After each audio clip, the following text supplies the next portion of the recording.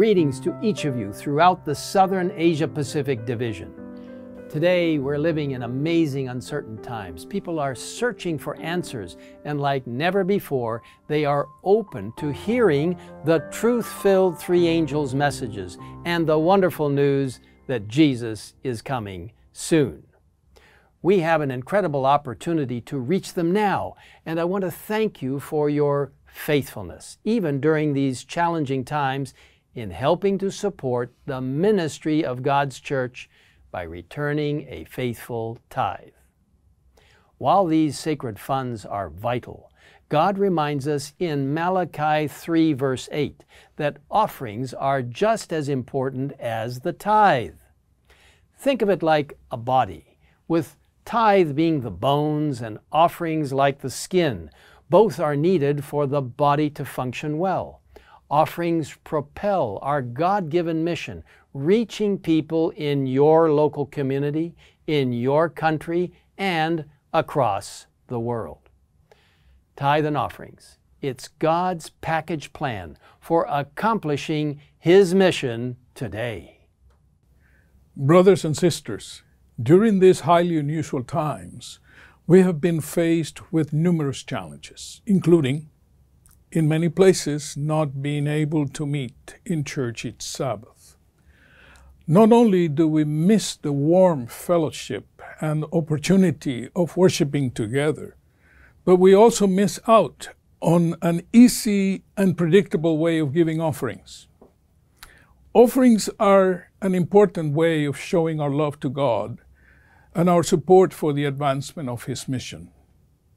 During these challenging times, we have seen a significant drop in the mission offerings, particularly in the Sabbath school offering and the 13th Sabbath offering that enable God's mission worldwide. Whether you are on the one offering or the specific offering plan, I invite you to prayerfully commit to partnering with the Lord, not only by returning a faithful tithe, but by giving offerings faithfully, regularly, systematically, generously from your heart and to reconnect yourself to the needs of the world. Thank you for your faithfulness. Remember that Scripture promises the person who sows generously will also reap generously. Christian greetings of hope and love to our brothers and sisters around the Southern Asia Pacific Division.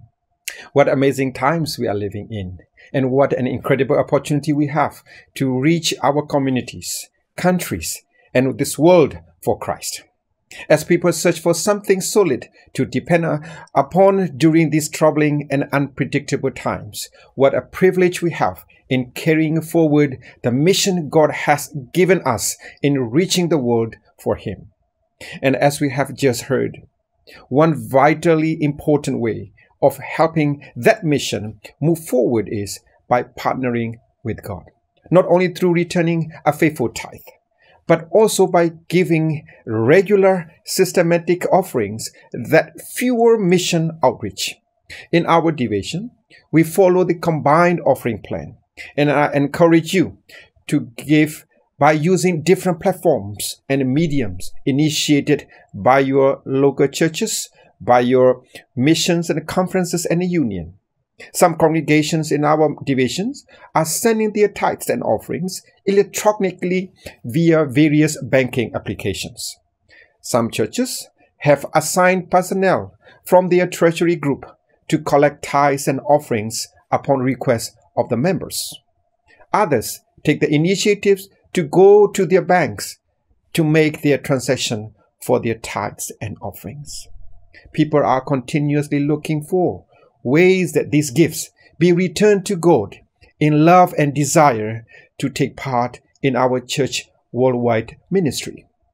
May God continue to bless each of you as you give your offerings and your tithe to Him from a grateful and a generous heart. May the Lord bless you. Música